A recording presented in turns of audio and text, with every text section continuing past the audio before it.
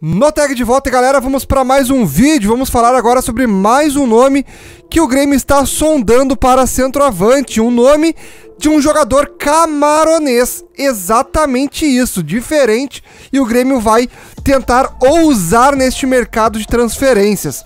Mas antes, gurizada, quero lembrar para vocês da ntgimports.com.br. Quer comprar uma camisa do Grêmio, ou de seleção, ou de algum clube europeu? Entra lá na ntgimports.com.br que o frete é grátis para todo o Brasil e tá rolando promoção até o final desse mês. Comprando duas camisas, tu leva uma terceira de graça. Exatamente isso. Colocou no carrinho de compras três camisas de time, tu vai colocar no final ali da compra o cupom compre dois, leve três e aí tu vai ganhar esse desconto. Vai, vai pagar apenas duas. Apenas duas e vai levar a terceira de graça. Beleza? Ou coloque o cupom no tag que tu vai ganhar 5% de desconto em qualquer camisa, comprando apenas uma só também. Beleza? Entra lá, link na descrição e no comentário fixado. Gurizada, vamos falar então sobre Abubakar. Esse jogador mesmo. Camaronês Abubakar está na mira do imortal tricolor. Grêmio faz sondagem então pelo centroavante Abubakar, atacante de 31 anos, foi afastado pelo Besiktas da Turquia, com quem tem contrato então até 2025. Com isso, Abubakar então está agora demonstrando, na verdade, o Grêmio está demonstrando interesse para ter este jogador, que é camaronês.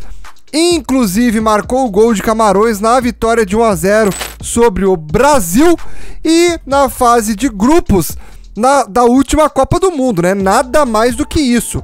No, na Copa do Mundo, o cara meteu gol na seleção brasileira, beleza?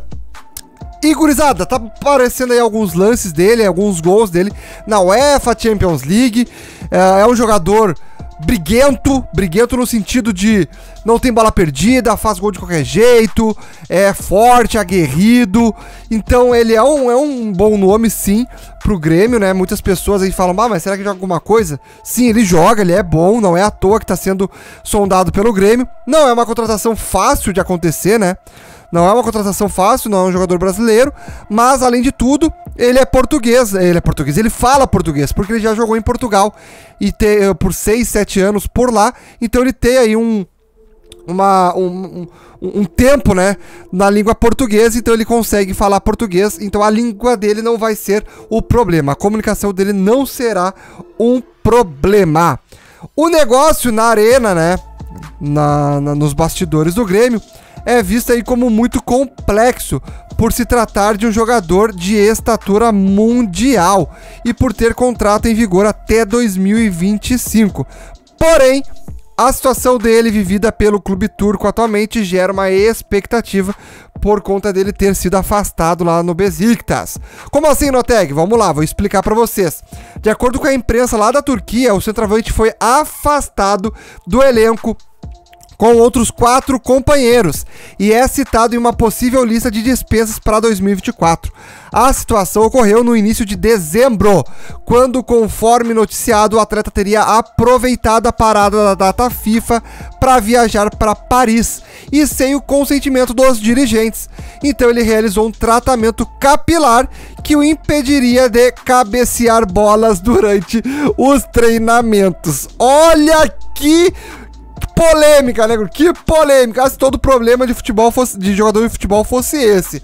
Mas diante aí dos rumores, o próprio atleta aí divulgou um comunicado em suas redes sociais desmentindo as informações que tinham sido circuladas. Ele falou o seguinte: Vamos parar com as acusações agora. Não fiz nenhum tratamento durante esta temporada. Tratei do meu cabelo no verão depois da última temporada terminar e antes da pré-temporada começar. Não tive nenhuma discussão ou comportamento indisciplinado com ninguém do clube. Nesta temporada, nada. Marquei 11 gols e fiz 3 assistências até agora nesta temporada. Na segunda metade da temporada passada, marquei 13 gols e, acima de tudo, dou sempre o meu esforço e concentração pela equipe a cada minuto do contrato. O clube já reavaliou a situação e me enviou um e-mail para confirmar a minha integração. Então parem, por favor, com acusações falsas, que podem ser alvo de ações legais e me deixem fazer o meu trabalho. Publicou aí o Abubacar, brabo, esfurecido nas suas redes sociais. Então, apesar das suas negativas, desde que o episódio veio à tona, o Abubacar não foi sequer relacionado para os jogos contra o Lugano na Suíça pela Europa Conference League e contra o Alanyaspor pelo Campeonato Turco, disputado na tarde dessa quinta-feira, dia 21 de dezembro. Então, por tudo isso, o Grêmio segue aí monitorando alguns jogadores e o Abubacar Camaronês está agora na, na mira do nosso imortal. O que vocês acham desse nome? Acham que seria bom o Grêmio tentar um jogador assim? Lembrando que mais um jogador estrangeiro, né? Porém, é um jogador que eu acho que também abre leque aí para mais jogadores euro, uh, europeus, uh, da, africanos, asiáticos olharem aqui pro Brasil, olharem aqui pro Grêmio. O Grêmio vai ficar mais conhecido em mais um país. Então é interessante pela, por essa questão, né, cultural. Cada vez mais que o Grêmio traz jogador, ah, traz um de Portugal, traz um da Venezuela, traz um de Camarões. Pô, o, o, os torcedores, né, de, desses países vão acabar olhando pro Grêmio, porque são todos jogadores de seleção, assim como o Gelson Martins de Portugal, o Soteudo da Venezuela, o Abubacar de Camarões. Então, Uh, são jogadores que jogam por seleções e que a, o, a torcida vai acabar acompanhando por conta desses jogadores. Então eu acho que é bem interessante o Grêmio tentar um jogador uh, estrangeiro por este motivo. Óbvio que tem que dar tiro certo. O Soteudo, por exemplo, é um dos tiros que eu tenho certeza que esse é certo, né? Só que o Grêmio agora colocando o Abubacar, aí já fecha o número de estrangeiros no, no time, né? A princípio. Se o, se o Iturbe não sair. Acho que o Iturbe saindo ainda tem mais uma vaga, tem uma terceira vaga ainda em aberta. Mas enfim, o Grêmio tem que ser bem estratégico, porque fechando o 7, né? Uh, as sete vagas de estrangeiros, aí já era, não tem mais como colocar depois. Beleza, mas eu quero saber a opinião de vocês, o que vocês acham sobre este nome, Abubacar, jogador do Besiktas, que está na mira do Grêmio e também jogador da seleção de Camarões.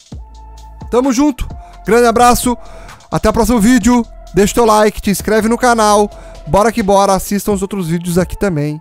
Valeu, falou, fui!